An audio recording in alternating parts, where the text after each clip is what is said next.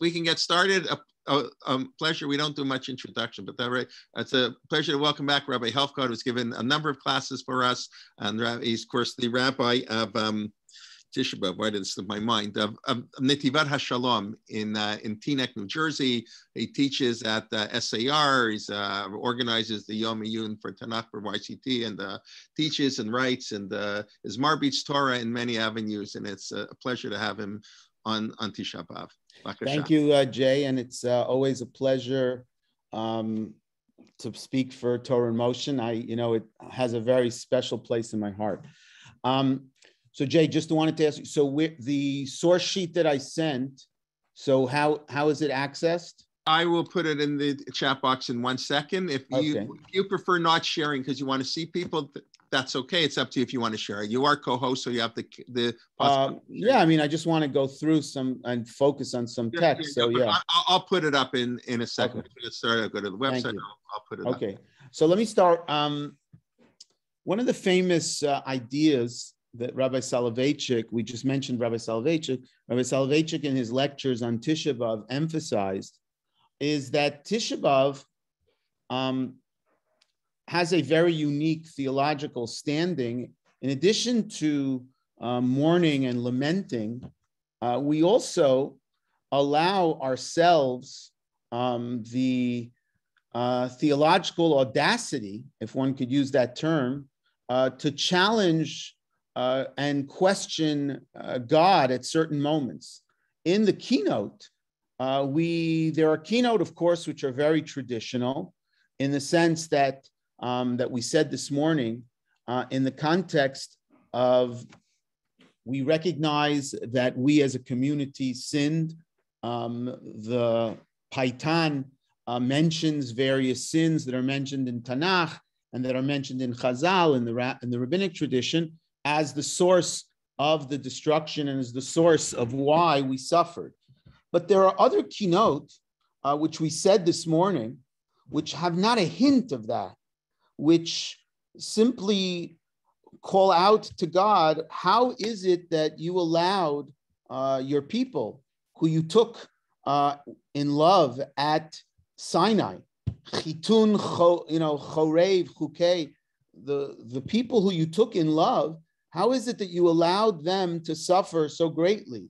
And you didn't remember the Berit Avot, and you didn't remember all the promises that you made in Brit Bein HaBetarim and many other kinot where we have statements like that, where the traditional Mipnei Chata'enu Galinu Mi'artzenu is not mentioned at all, but there's a challenge to God's uh, justice and a challenge to God's uh, recognition, you know, um, um, sense uh, to our sense of fairness, and we protest God.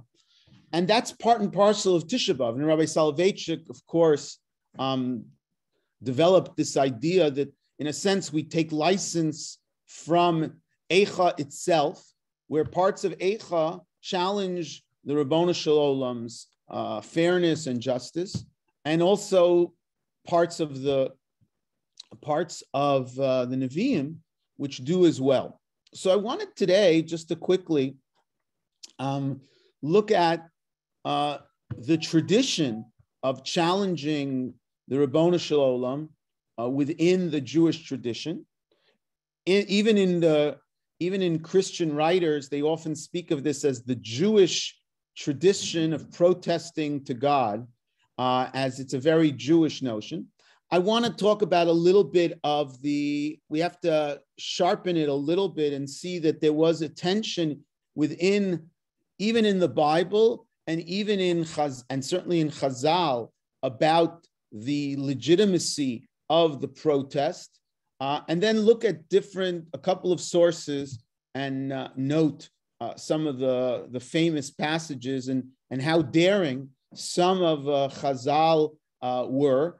Uh, again, I'm not going to deal too much with the medieval literature today because um, we said a lot of it this morning in the kinot, and they expressed themselves in the piyutim in Slichot and in the kinot, uh, challenging uh, God.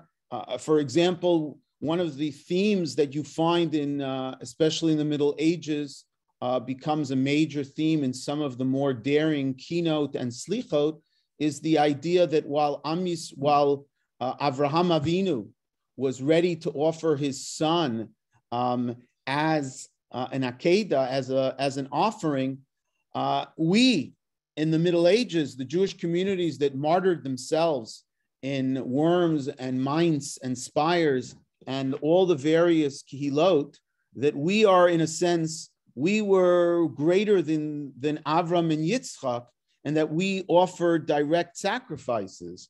And God's hand did not, the Malach didn't step in and stop those murders and tragedies from happening. And so that's a theme that you find in medieval literature and challenging God and asking God, um, how could he allow this to happen? Um, but I wanted to go back to the beginning. So let me uh, click on the sources and let me then, um, let me see if I can go to share here. And I'll share my screen and hopefully it'll show up. Yeah. So I wanted to look at some sources. Of course, when we look, uh, we always start with the Bible, we start with the Tanakh. Um, what are the sources uh, of, of the legitimacy uh, the precedent for challenging God. And one of the earliest precedents, of course, is Avraham Avinu uh, in the story of Sodom. Hakadosh Baruch Hu tells Avraham Avinu that um, that he will destroy Sodom, and Hakadosh Baruch Hu um, says that Abraham will teach his children stakau mishpat. He's going to teach them the way of the Lord, and therefore I cannot hide from him what I'm about to do. And Hakadosh Baruch Hu says to Avram, "Ayomar Hashem zakat tzedom v'amara ki rabba v'chatatam ki chavdam ma'od erdana ve'erea akata haba'a elai asu kala bimlo eida'a." So Abraham is told that there is, I'm going, I am going to check and see the tze'aka. Tze'aka in the biblical uh, term is not just to cry out, but it's crying out because of oppression. When the Jewish people are in Egypt, vayitzaku el Hashem, uh, later on in the legal material in the in the Torah, uh, when the Torah talks about taking the collateral or taking the clothing away from the ani uh, to hold as collateral, and says you don't, and if you don't return it to him, vaya ki elai v'shamati ki ani. Later on in Tanakh, we have many stories of the Isha, the forlorn woman who cries out to the Melech, Vayitzak el HaMelech, you know, my fa- my my husband uh, died, and then they c- took my son. All these kinds of stories. So litzok refers to oppression, to bein adam lechavero, and Hakadosh Baruch Hu says this to Avram that he's going to destroy.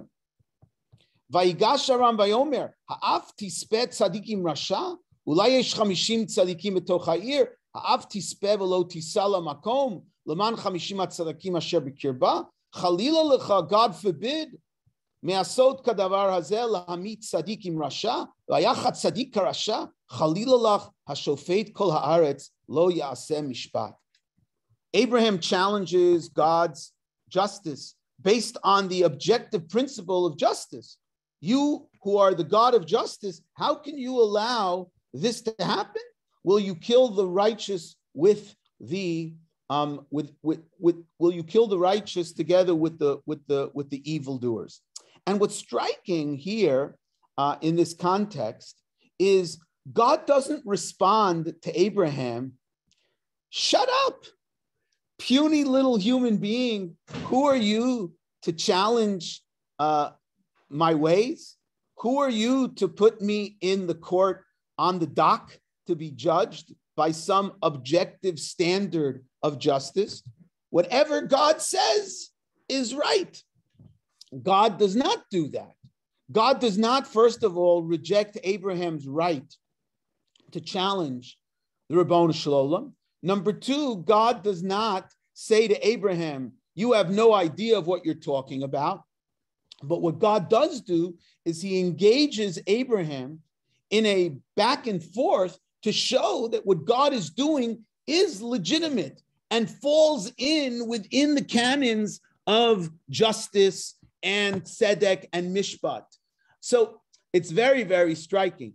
Parenthetically, this is a very famous passage because it uh, it relates to the, you know, a famous question uh, that has um, that was formalized in the Western tradition um, in uh, in Plato's, um, in Aristotle's, uh, what you call it, um, uh, dialogue.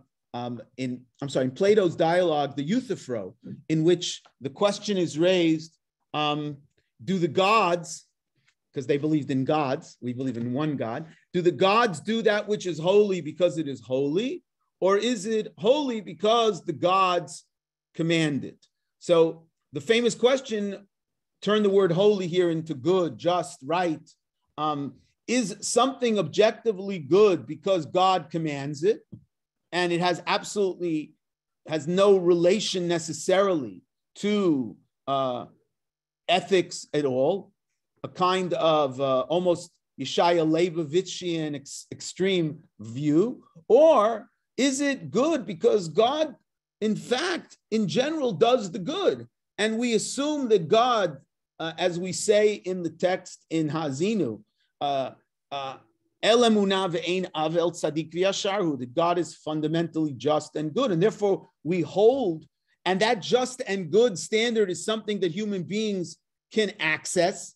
It's not simply some sort of Hellenistic or Western construct, but it's something that human beings rationally can access. And Ribbono Shel Olam is held up to that here by Abraham, and it's legitimate. It's not seen as something chalila v'chas, as blasphemous uh, in any way. So this is the most famous example in Sefer Bereshit.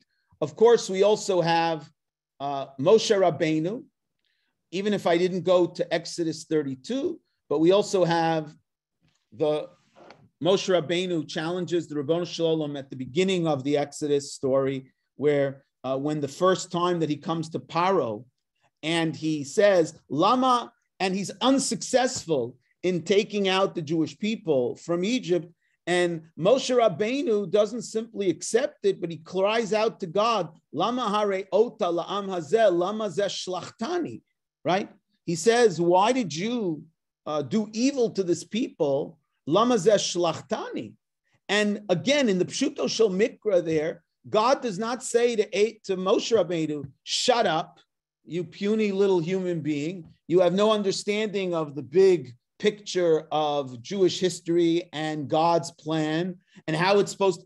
God, so to speak, again on the pshat, accepts what Abraham, what Moshe Rabbeinu uh, said, and then tries to show him and reinvigorates uh, the brit. Va'irail Abraham be'el Shaddai Ushmi Hashem lo nodati lahem, and he promises to to Moshe Rabbeinu that know that this is part of Jewish history and you're going to be take them out of Egypt, etc., etc. He encourages Moshe. He um, gives Moshe more support. He doesn't simply throw Moshe out on his ear um, as saying you're a mechutzaf or you're a heretic or anything like that. The same thing when Hakadosh Baruch Hu tells Moshe that the people have sinned at the golden calf. Um, and the let me alone. Again, in terms of pshat, God is saying, leave me alone and I'm going to destroy the people. And Moshe Rabbeinu does not leave them alone. Vayichal Moshe et pnei Adonai, vayomer lama lama yachere apcha b'yamecha asher hotzeitam mitzrayim b'choach gadol, lama yomru mitzrayim lemor bera'ah hotziam laharog Let not the Egyptians say that God is a demonic uh, power. And of course, remember Zechor Avram. Remember the your servants Abraham, Isaac, and Jacob, and uh, God, uh, in effect, recants and vayinachem Hashem al hara'ah asher diber la'asot la'amo. God recants and allows them. So here too, Moshe Rabbeinu challenges God, doesn't simply accept as a fait accompli what God says, and is willing to very strongly.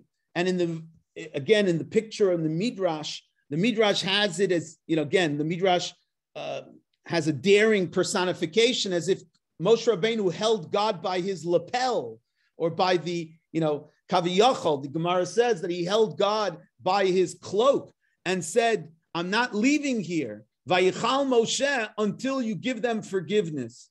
And Moshe Rabbeinu didn't simply accept um, as a kind of good soldier God's initial statement. When we turn to the Nevi'im, we also see uh, many examples of the Nevi'im not simply accepting uh, God's uh, decree and not simply accepting what God had allowed, but challenging God and fighting with God. And so, for example, in a famous passage in Sefer Yirmiyahu, Perek Yod Bet, Tzadik ata Adonai ki elecha, ach mishpatim adaber otcha.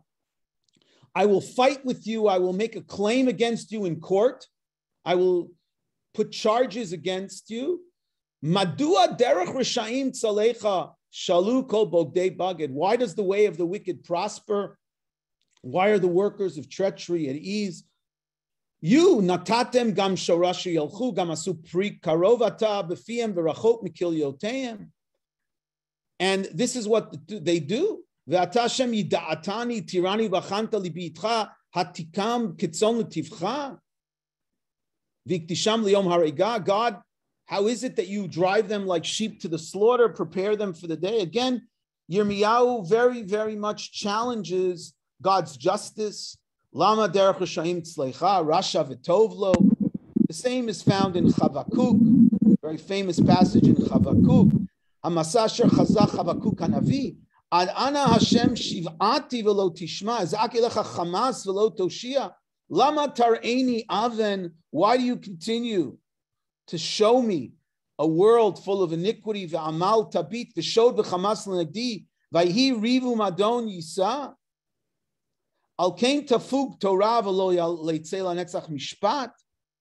Justice fails. Ki rasha machtira tatzadik. Al kain yitzei mishpat me'ukal, me'akel ukal, excuse me, therefore justice. So again, challenging the Ribbono Shel Olam's justice, challenging the Ribbono Shel Olam's fairness, challenging the Ribbono Shel Olam's way. And again, in all these passages, the Ribbono Shel Olam doesn't respond, shut up, you have no understanding of the big picture. Uh, this is blasphemous, this is heretical, you have no right to challenge God, but rather it is incorporated into the canon of the Tanakh and recognized as legitimate protest of a religious um, um, prophetic call that the prophet doesn't only chastise the Jewish people, but he also, in some places, chastises the Ribbono Shel Olam.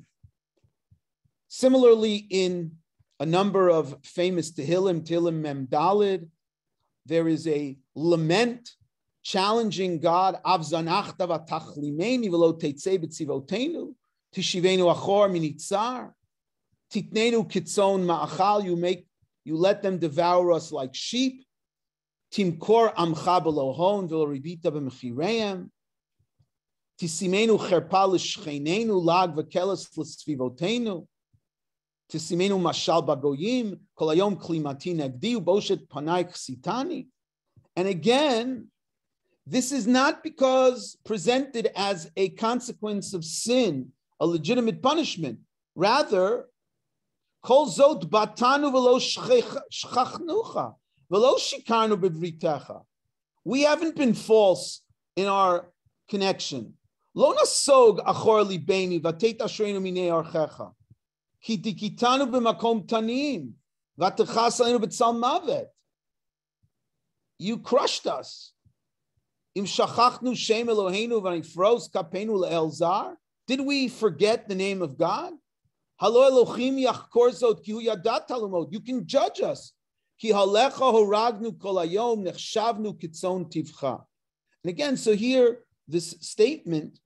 of protest to God, that it's illegitimate. We haven't in any way rejected the covenant. And even after we've been punished, even after we've suffered, we haven't abandoned you, and yet we suffer. And we call out to God, Ura Lama Tishan, which we incorporate in the kinots this morning. We also quoted that phrase, Lama Tishan, Kuma Ezratalanu. Also, the famous kina, um, I'm sorry, the famous lament of the of the Mishorer in Tehillim in Ayin Dalid, which is incorporated into the one of the kinots, Zechor Mehayalanu, where we take one of the lines from this, this Mizmor as the second line of the Piyut, Zechor Mehayalanu. Maskila Asaf, Lama Elohim Zanachta Lanetzach, Yeshan Abcha B'tzom Maritecha. Remember us, remember how you took care of us in the past. And here, what they're doing, they're destroying the mikdash. Shilchu ba'esh mikdashecha la'aretz chilu mishkan shmecha. Amru belibam ninan yachad sarfu kol el ba'aretz. Ad matai Elohim yicharef tsar yinatz oyev shimcha lanetzach. Lama tashiv yadcha. Why do you do this? Ve'elokim malki mikedem. You were once our king. You brought deliverance. You destroyed the sea. You created the sea monsters. You created the world. Atav akata mayan vanachal. L'chayom af l'chalayla. You created the day. You created the night. Zechor zot oyev cheref v'am na'val niatzu shmecha. And again, no mention of sin, no mention of punishment. This is undeserved. Why do you allow the uh, enemies to, to uh, trample in the Beis Hamikdash? Why do you allow this? and you should arise, God. This, of course, is a major theme in the book of Job. In the book of Iyov, Iyov constantly, uh, in many passages, challenges God. In one of the more famous passages is in chapter 23. Vayan Iyov Vayomar Gam Hayom Adi Kavdal Chati Would I be able to reach God? I would put my case before him. And I would put all kinds of arguments.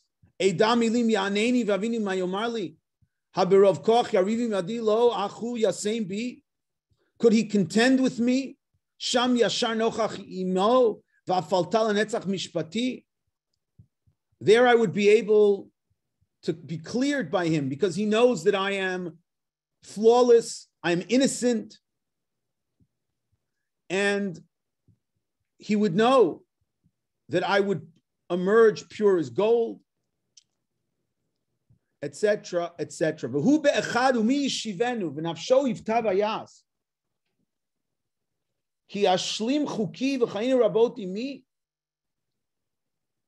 So again, Job presents himself in that way. All of these passages and many, many more in Tanakh make it very clear that Tanakh, um, Bigadol, certainly not only allows, but it is a hallmark of the great Nevi'im and of everyone else uh, and of the great figures in Tanakh to challenge the Ribbono Shel Olam, to protest injustice, to question. Now, there is a, there are passages, of course, here and there where God seems to shut down the protest. But again, it's a much smaller voice, but it is, for example, in the book of Job. God says to Job, Who is it that speaks without knowledge? Where were you when I created the world? If you don't have the power to create the world, you shouldn't talk.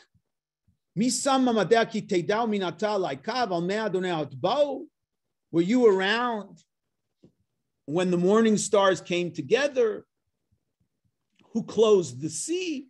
So this is a passage which is taken in some by some to imply God shutting down protest. And in Iyov itself, there seems to be different statements from the Ron Shalom. Because at the end of the book of Iyov, HaKadosh Baruch Hu says, you know, to the friends of Iyov, you spoke inappropriately to Iyov, and Iyov spoke well. And God restores Iyov to his former glory, and he marries and he has children again. But there is this passage which seems to shut down Iyov. So again, Bigadol, the thrust of Tanakh, excuse me, speaks to the legitimacy of challenging God and his justice. Uh, and it's a legitimate Jewish spiritual response. At the same time, there are passages, a smaller number, that seem to shut down that conversation. When we turn to Chazal, we turn to the rabbinic literature, we see the same tension played out in rabbinic literature. It's interesting that if you look, and this is especially, there's a wonderful book that was written on the topic of uh, protest. Um, it's called Pious Irreverence. Protesting, it's a great title. Pious Irreverence by uh, Dr. Dov Weiss um, uh, about the topic within uh, rabbinic literature. I just want to check because I'm not sure. Oh, I see in the chat, there's a lot of chats. Um, so let me just stop for a second. In the chat, the Dov Weiss book was mentioned already in the chat. Very right. good. Okay. Um,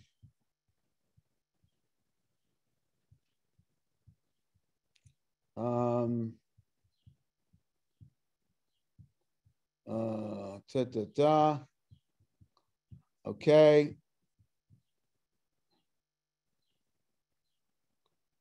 Okay. Yes, yes, yes. Why don't teachers treat the students? Miss, Haki, Hakimi, I don't know the schools in which I teach in, that's not the case. I had never heard of a kid being told um, that they are chutzpahdik. But again, I teach in SAR. I'm sorry that your son had that experience. Um, yes. Well, I just want to say that all my grandchildren go to SAR, and I'm glad they're getting a better education. Five okay. grandchildren in SAR, yeah. but my son, all my boys went to Skokie Yeshiva. Oh, I'm and, sorry uh, for that. That that was part of their. So my son Ari Hakimi and yeah. um, Isaac Hakimi, whose children you may have taught, who are all at SAR, they right. they did not um, respond that way at Skokie. Right. But right. my third son was always treated with utmost disrespect by his teachers when he questioned. I'm sorry that Skokie they did that. Okay, anyway. so as I mentioned, as I mentioned, you are not allowed to ask questions like this. Okay, I'm going back.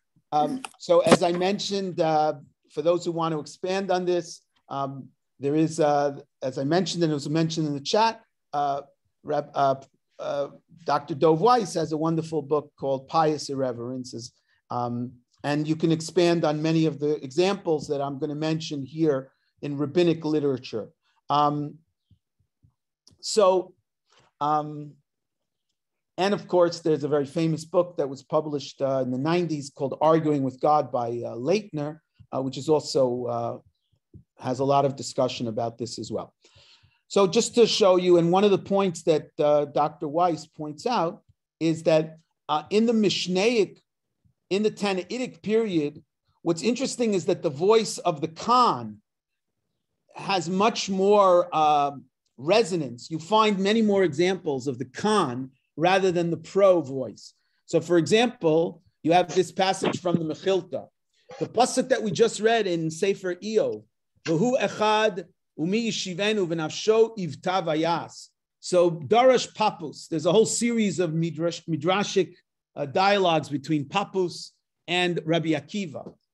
Dan yichidi, what's v'hu be'echad, that God is one. Dan yichidi l'chol ba'e oilam ve'imi yashiv al dvarav. There is no one who can respond.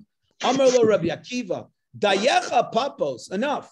Amar lo papos, Amar Rabbi Papos, Umata Mekayim, Behu Be'echad Umi Yeshivenu. Rabbi Kiva, what do you take to mean the phrase Behu Be'echad? Amar Lo, Ein lahashiv al divrei mi she'amar v'haya ha'olam, eladan hakol be'emet v'hakol bedin.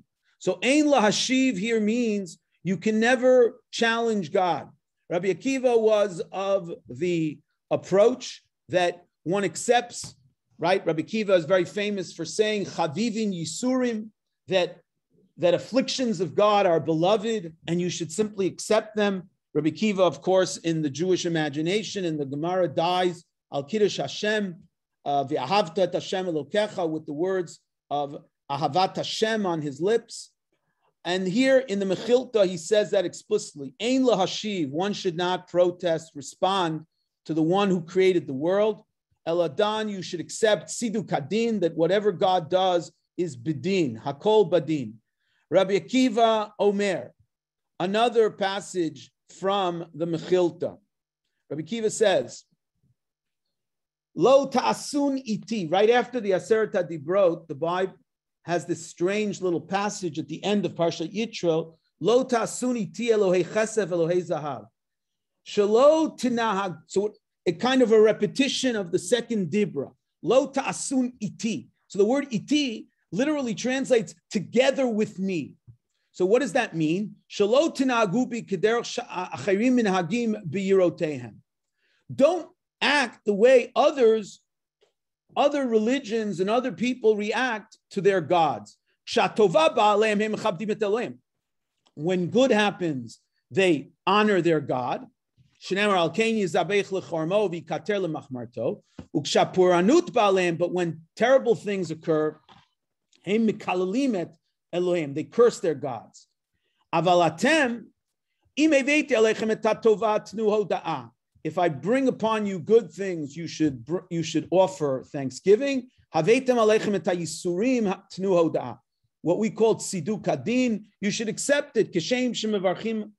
And here it's not just you should accept it, but you should give hoda'ah. That's a very radical statement. You should give thanksgiving. וכן דוד אומר, כוס ישועות עשהו בשם השם אקרא, צרו ויגון אמצא, ובשם השם אקרא, אדוני נתן ואדוני לקח, God gave, God took, היא שם אדוני מבורך, על מידה טובה ועל מידה פורענות. And what did the wife of Iyov say to him, Otcha machzik betumatecha, you still accept? Barech Elohim vameit. you shall you should curse God and die. V'cheinu moshiv, etc., etc. Do you want me kedaber achatan evalot tedaber? Gam tatov nikabel meit Elohim, v'tara lo nikabel, v'chol zot lo chata Iyov bisfatav. In this version, Iyov does not commit and again, Iyov is the paradigm at this point of not challenging God. However, later on in the book, Iyov, as we saw, does challenge God and does protest to God. And so it's interesting that in another version of this, uh, not another version, but in other rabbinic passages, Iyov is not seen as this great tzaddik. But Rabbi Akiva said, Omer Dvarim Shel Chodesh. There are a number of people, a number of generations and people who, who serve out their full punishment in Gehinom for 12 months. Mishpat Dor HaMabul, Shnei Masar Chodesh. Mishpat Iyov, Shnei Masar Chodesh. Iyov is seen as a negative character because he challenged God. Mishpat HaMitzrim, Shnei Masar Chodesh. He's put into the same category as the Mitzrim and the Dor HaMabul, as the Egyptians and the generation of the flood that was killed into oblivion. Okay, take a quick look at the chat. Okay. Yes, that is definitely um, definitely a possibility. Dr. Berger points out that maybe hoda'ah means here uh, acceptance and agreement. Could be possible. It's just interesting. The first part seems to be hoda'ah as you know as as as uh, as thanksgiving because it says you should be moda, and usually we take that. So again, unless it's being interpreted in two different. How does Rabbi Kiva explain the last chapter of Iyov? I don't know. Okay, um, another very uh, famous section, another famous uh, passage is, of course, again we're going to have to skip a little bit, but uh, another Gemara in Taanit, Levi Gazar Tanita. Levi made a decree of a fast day because there was no rain. So he went up to heaven and he challenged God. Ata mitra v'itla. And the, then the rain came. But as a punishment, he became a cripple. He became lame. Amr la'olam al yatiach adam dvarim kap mala. A person should never uh, direct words of challenge, statements of harsh statements of challenge. Why God didn't you do this? Why God didn't you do that? Share Adam Gadol klape mala v'itla. umani Levi. Again, here you have this um, this tradition within the rabbinic tradition that limits and sees protest as a negative. In fact, even getting punishment, you get punished if you challenge God. Before, remember, we saw the passage in in uh, in Shmot where Moshe Rabbeinu said, "Lama ota lama zeh, lama zeh. Why have you caused evil to these people that it's now worse for them? They have to pick their own straw." Which, in the text, God doesn't respond to negatively. God, in fact, in effect, responds to Moshe and gives him encouragement and says to him, Recognize, I will take the Jewish people out. He kind of gives him chizuk. But in the Midrash, that's not the that's not the point. In the Tanchuma, im Amar Adam legadol heimen alama hareota. Davar kasher omer. Or. Moshe didn't just say that, but he said, Umeaz bati el parol daber bishim chayra lamazeh. Amar lo HaKadosh Baruch God says, Chaval al de'avdin v'lo mishtachim. Woe to those who are lost and are not remembered. Meaning, Moshe Rabbeinu, you don't live up to the, to the measure of Abraham. Hare kama pe'amim nigleiti al Avram Yitzchak Yaakov Be'el Shaddai v'lo marti lahem sheshmi Hashem v'lo hir. They never challenged. They never asked questions. They never doubted me. Amarti lavram kumi talech ba'aretz. I told him to go and to the land, and he would inherit the whole land. And what happened? Bikesh makom likvor sarah matzah. And he had to, to bury Sarah, he had to spend 400 shekel. Velo here hair. He didn't challenge me. Amarti liyitzchak gur baretz azot. I told uh, Yitzchak that he would live in this land. Bikesh maim lishtot velo matzah. He couldn't find water in this land. And they fought with him. Again, here the Moshe Rabbeinu is compared unfavorably to the Avot because he was Meharher. On the other hand, we have, um, as especially as we move away from the uh, from the um, period and we move into the Amoraic period, you have much more of the statement um, of, of leg- going back to the biblical period and legitimizing protest before the Ribbono Shel Olam. Very famous Gemara. It's in the same Gemara about Rabbi Akiva, uh, Moshe Rabbeinu in the back of the class of Rabbi Akiva. Chazar, another part of that Gemara. Chazaru Balifnei Hakadosh Baruch Hu. Moshe comes back after he sees the genius of Rabbi Kiva,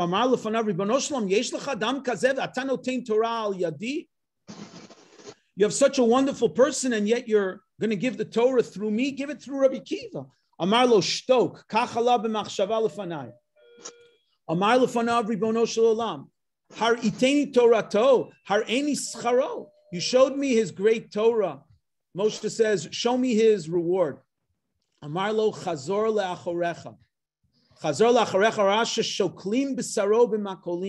saw that Moshe Rabbein, he saw that Akiva, Rabbi Akiva's flesh was being torn apart um, with, uh, in, like in a butcher shop, it says here. As we read this morning in the Asara Haruge Malchut. And Moshe Rabbeinu cries out to God, Zu Torah zu schara. Now we have that also in the Ela Ezkara Piyut on Yom Kippur.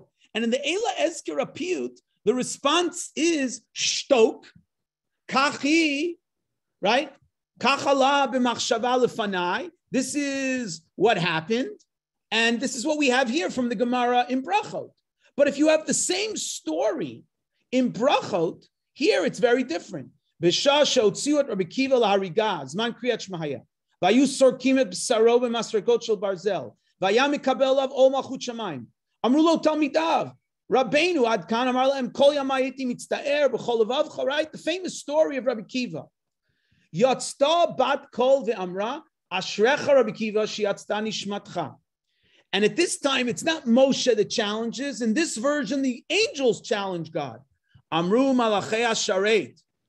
Lifnei Baruch Hu. Zu Torah v'zu schara. In this response, The Ribbono Shel Olam does not respond, shut up, kachi gzeramil fanai, I'll turn the world back into tovavo, but rather, Ashrecha Rabbi Kiva Shatam Mizuman Olam Haba, which is one of the classical rabbinic responses to Russia to Tzaddik Viralo, that the righteous suffer. The response is no. Rabbi Kiva is has a great portion in the world to come. A very different kind of response to the angels about this. Let me just check the chats.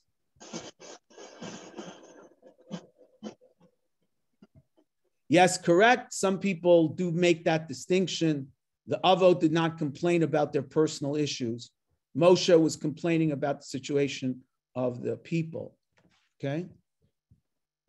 Okay, and not for himself. Okay, so why should that be different in this context? In the context of Moshe Rabbeinu in the Midrash, he should be more altruist. He's more altruistic. He's he's he's challenging God on behalf of the people, and yet he's shut down in a way.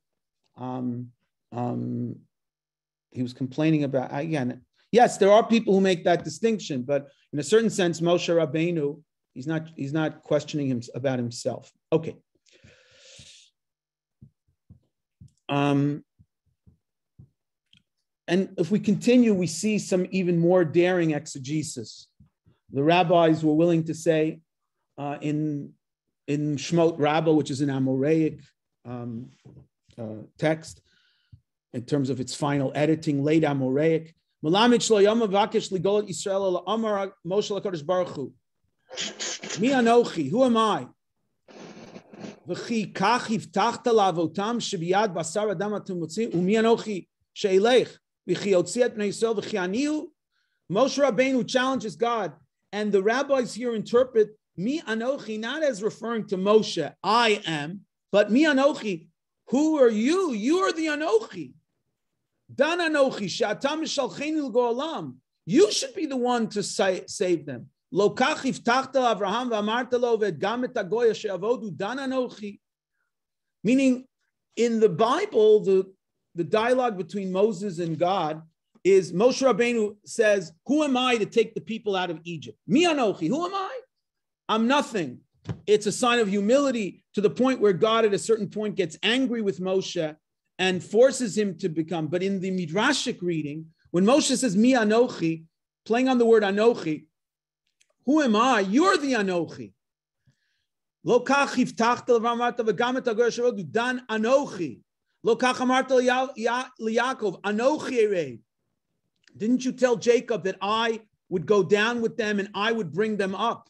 V'liata omer, mi anochi. And in a sense, you're asking me to do it. Who am I? You're the you're the anochi that's supposed to take them out. Amar lo Hakadosh Baruch Hu, chayecha ani oreid umatzilam. By your life, I will go down and save them. So again, in this midrashic reading, even though there's no need to, the reading is turned on its head of a challenge to God why aren't you fulfilling your promises? Why aren't you fulfilling the destiny that was promised to Am Yisrael? Again, another passage, the Gemara in Sanhedrin. Again, when we read the story of Pinchas, which we read a few weeks ago in, in the Kriyat Torah, Pinchas um, is zealous for the Lord. Right? God says, um, what's the pasuk at the beginning of Pinchas? Uh, uh, kinati. Let's get it out.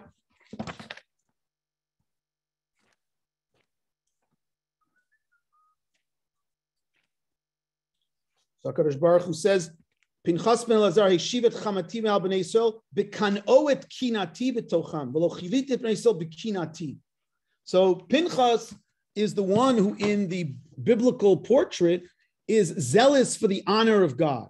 But in the rabbinic passage here in Sanhedrin, it's turned on its head. Ba uchavtan lifnei hamakom. Pinchas literally picks up Kozbi and Zimri and slams them on the ground before HaKadosh Baruch Hu. He slams them on the ground. It's an amazing midrash. Amar Olam, Master of the universe. Al Elu Yiplu Chavdal Elf Misrael, because of these two people,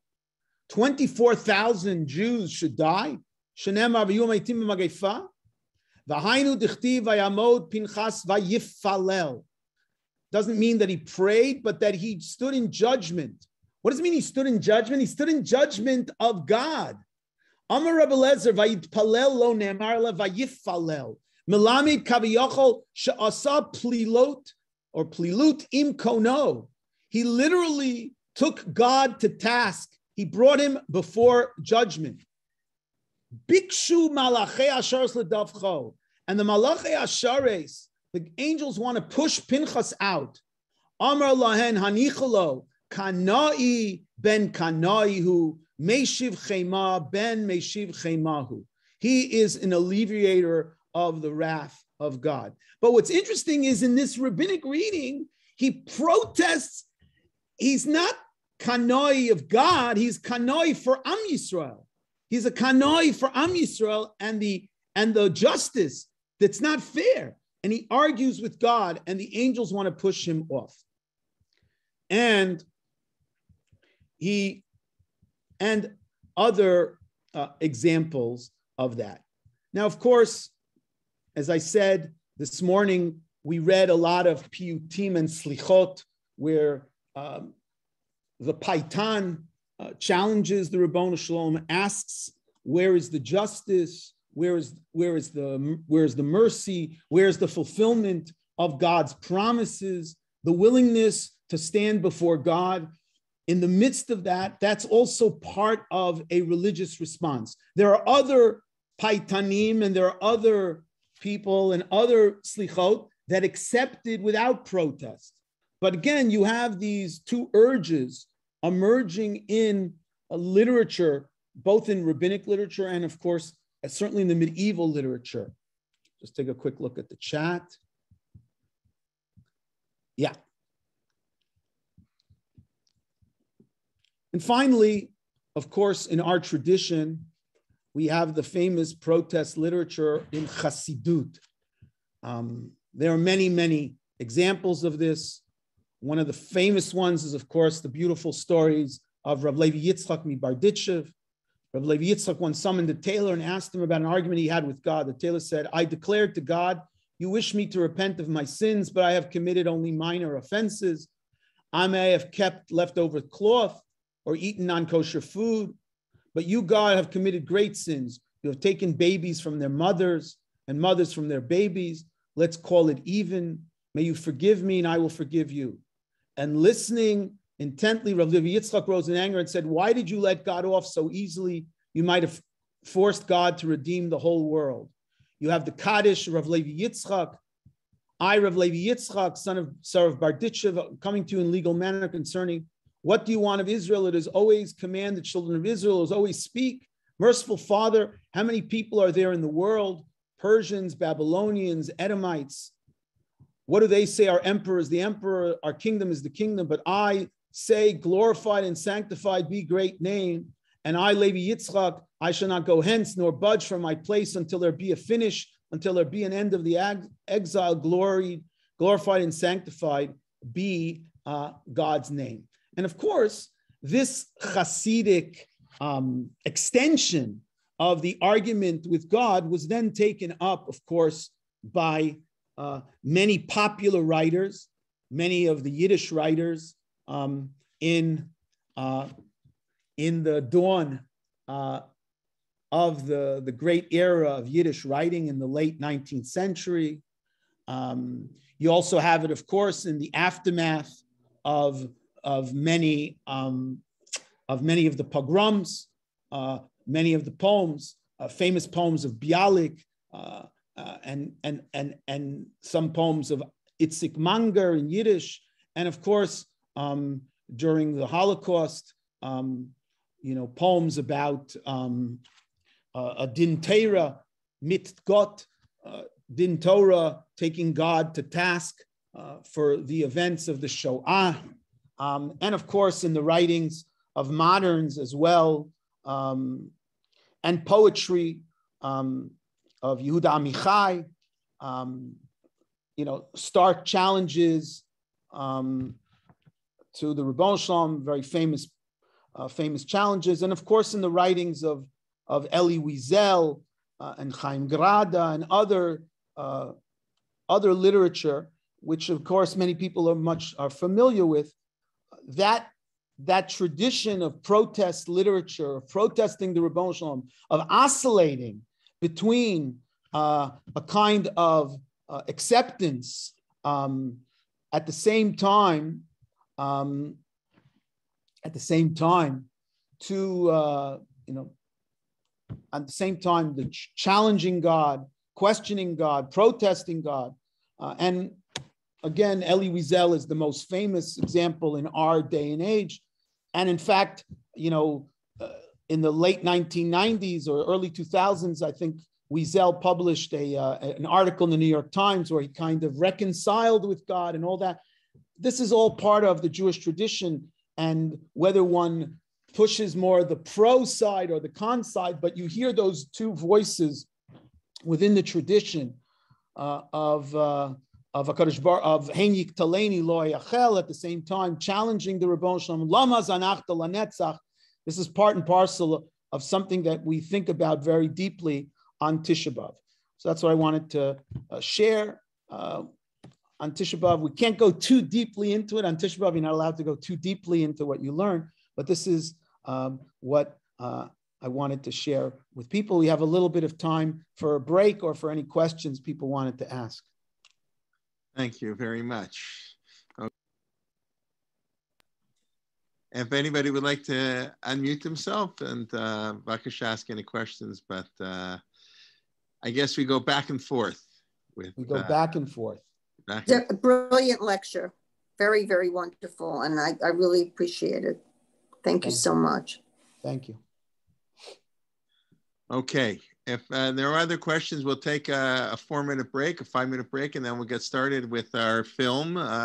We've had lectures, learning, right? The, the third part of our the, the Tisha B'Av. We haven't had, had a movie yet, so we're not exactly having a movie, but uh, but Jerry Glickman is a film producer who'll be discussing how the Holocaust is portrayed in film. So I think there'll be excerpts here and there. So that will be the last Achron Achron Chaviv. Anybody who's been here since 11 in the morning gets a special reward. I don't know what that means. I get, but, uh, whatever. And uh, what and uh, everybody, uh, I think it's really amazing. I forgot to mention when I was going all the we're having this week. I forgot to mention Rabbi Jonathan Ziring's talk on Thursday on on Shemitah, five part series Shemitah into Lens and Torah. That's at 12:15 on Thursday. So please do join us tomorrow, 11 a.m. Like I mentioned, Rabbanit Shira Mirvis will be talking on the Ben Ish Chai uh, Baghdad her, her series on rabbis in the Islamic world, followed by Rabbi Alex Israel on Lord Jonathan Sacks, taking a different book of his uh, each week. So that'll be tomorrow at 11 a.m. and 12:15. Uh, Tisha should be um, a springboard and uh, come and learn with lots of uh, important things and lots of uh, learning to keep us all busy and uh, you can come with a cup of coffee and some ice cream and waffles, whatever you'd like tomorrow. So that'll be, make it maybe a little easier. Actually makes it harder. On Tisha B'Av, people have nothing to do, so they come and learn. During the week, everybody's busy. Everybody, I understand people got to work. I get it. I get it. Okay. Um, uh, I don't know if you've been there. No, I don't know that that counts. They went with the OU. Should, should we count that, Rev Natty? They came what? an hour late because they were at the OU program until 12, so they missed the first lecture. Yes, I think they. Can. I don't know if we can forgive them. Yes, okay. Rav Nadi, are you going to Camp Stone this year? Uh, yeah, I'm here to Shem in two weeks. Okay, okay. Uh, so you'll probably just miss Azaria because he left already, but he has to come back early because go off to Israel. Elul is so early this year. Where is he going? Uh, Gush. Very nice. And, uh, go well. Elnathan was there like in makeup machal. You know, he missed last year, so they right. did make a machal, but that that's that's finished already. Anyways, Rabbi Helfgot, among his many other things, serves uh, I've been for many years, for a few weeks, as the one of the camp rabbis in Camp Stone. So, and we spent uh, time together in Camp Stone. So, yes, very nice. Yes, yes, yes. And uh, okay, okay. great, great to see you. Be well. Good and see you. Uh, bye, bye. Okay. All the best. Thank you. Bye, bye.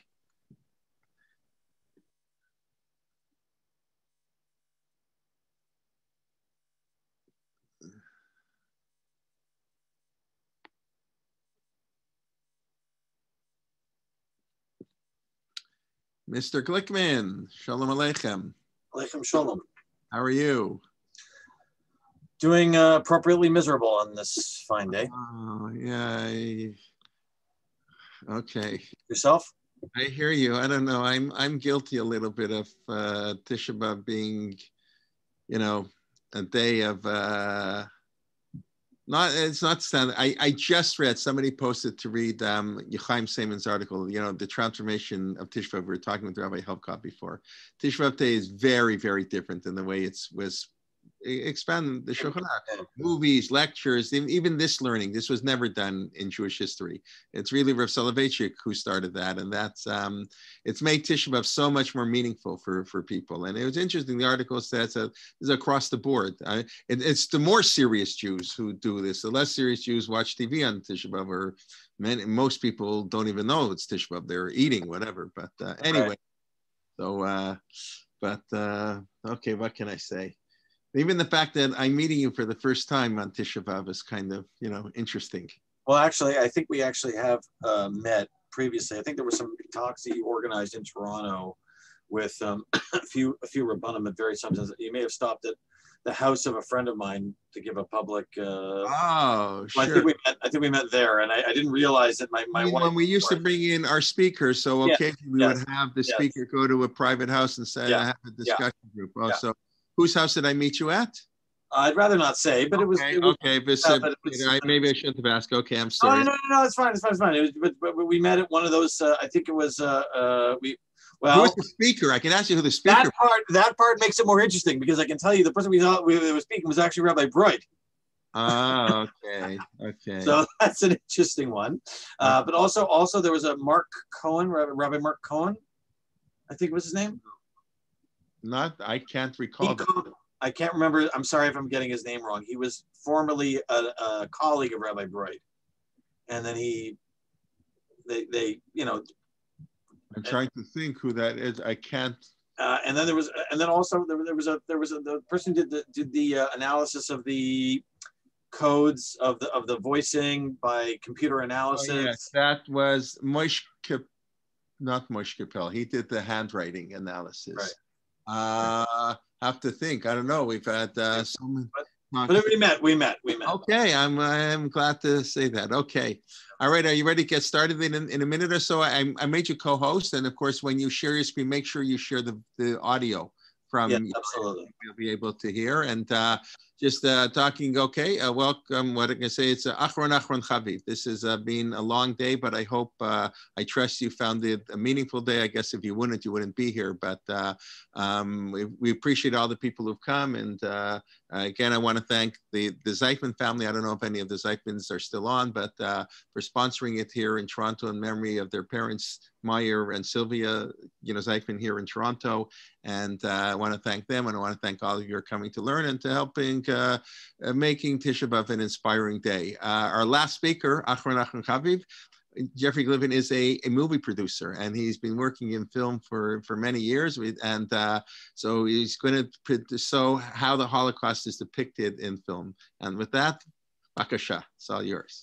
Thank you. Uh, thank you so much. Uh, normally we would begin with uh, good evening and welcome, except it's Tisha B'Av, so we don't say that. So I will not be saying good evening and welcome. And I'm sure at this point in the day, everybody is uh, rather famished and, you know, looking forward to eating something. Thankfully, our topic today is uh, solid appetite suppressants. So good on that. Um, a few, a few caveat emptors to start off, a few things to, to start off before we begin. One, um, uh, I will be showing a few clips here and there. I have more of a presentation to get to, which I'll start right now.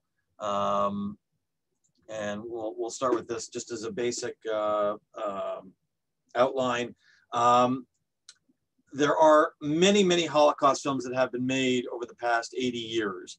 Um, we will not be talking about all of them. We were talking about some of them. The ones that I picked are the ones that I believe either represent a um, paradigm shift in the representation of the Shoah on film, or uh, it represents something as far as moving the, the medium forward, moving the um, moving the the content or the style of films, which are actually related. They're actually two related topics there. The sort of have a historical value in terms of sort of moving things forward. What I consider to be kind of the the the, the turning points, the major turning points.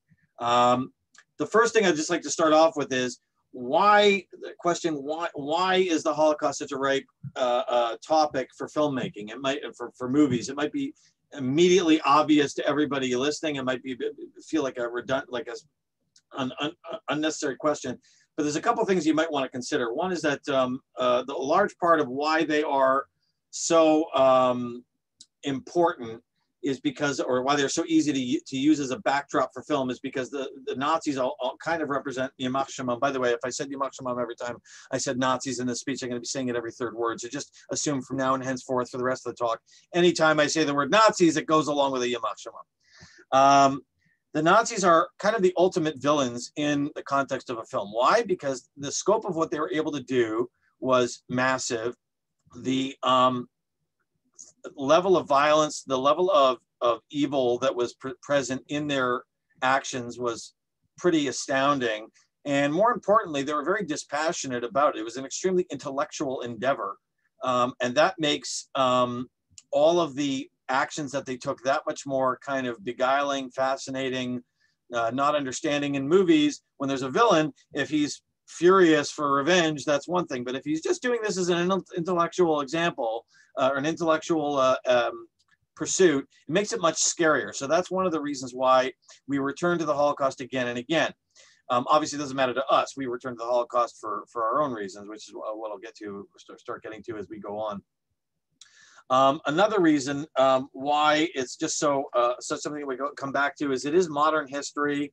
Um, and the, extent, the, the attempted extermination of our people is a huge source of conflict, of tragedy, of victimization, of heroism.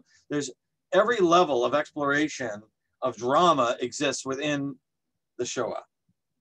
So over the next hour or so, I'm going to cover uh, 10 to 12 films. I'm going to mention a few others. Um, and we're going to talk about everything from genre, which is not, um, uh, that's a loaded term. Genre can mean a bunch of different things. I'll get to that in a bit. Um, in this context, it's the type of story that's being presented, the, the, the narrative structure. We'll talk a lot about stylistic qualities, which may sound like, what do I care about the stylistic qualities? It, it connects to the content. It connects to the way in which the content was presented and what that represents to historically how how the how we perceived and how the show was shown to an audience. You got to remember, most of the people today, their largest access point into the idea of the Holocaust, the Holocaust element of World War II from 1939 to 1945, is through movies. So these are extremely valuable texts. These are extremely important documents that we have to sort of look into that future generations are only going to have this.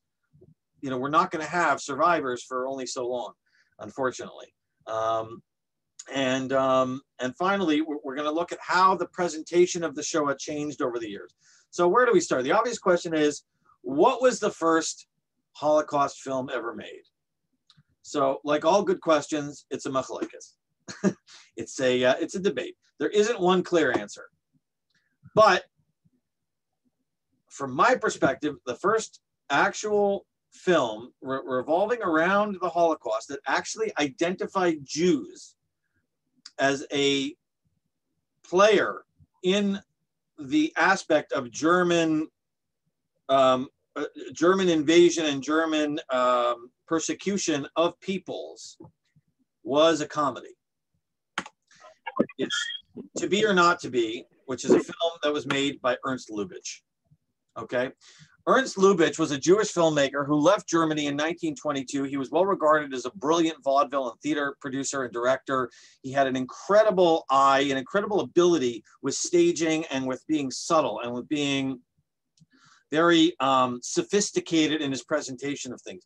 What he was truly amazing at was uh, married married couples relationships. He was fantastic at portraying the frustration, the um, the sort of uh, uh, the friction, the uh, love, and the care that a married couple can go through during various times in, the, in their in their lives.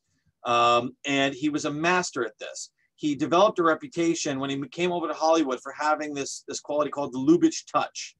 The Lubitsch touch was a a way of saying, ah, when you see that film and you see what the way he's dealt with those scenes, it's got the Lubitsch touch. So what is To Be or Not to Be? To Be or Not to Be is a comedy that um, centers around a theater troupe, a Polish theater troupe. Okay.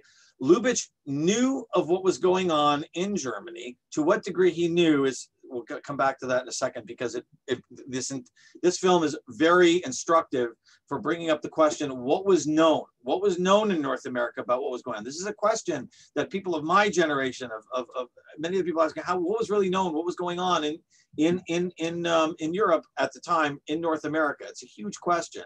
And oftentimes the answer is kind of we're not sure we don't know you know we, we didn't know what was going on this that. To look into this film, you actually get a very clear answer that a lot of what was going on was not known. So what is, I'll give you a brief synopsis of the film. The film is about a Polish theater troupe uh, that is uh, that is the main theater troupe in Warsaw. And at the center of the theater troupe are uh, stars um, uh, Joseph Tura and Maria Tura, played by Jack Benny and Carole Lombard on screen in front of you here. Jack Benny uh, was cast by Ernst Lubitsch on purpose. He wanted somebody with the exact sort of um, uncomfortability that he had because Joseph Tura in the movie is a bad actor, constantly uh, desiring for attention.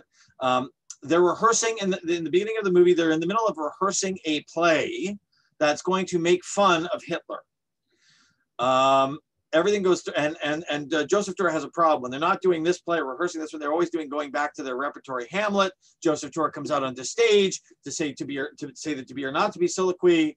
Soliloquy from Hamlet. He's playing the you know King Hamlet, and he always notices that a young, very handsome airman is getting up from the theater and walking out of the theater when he's giving the soliloquy night after night.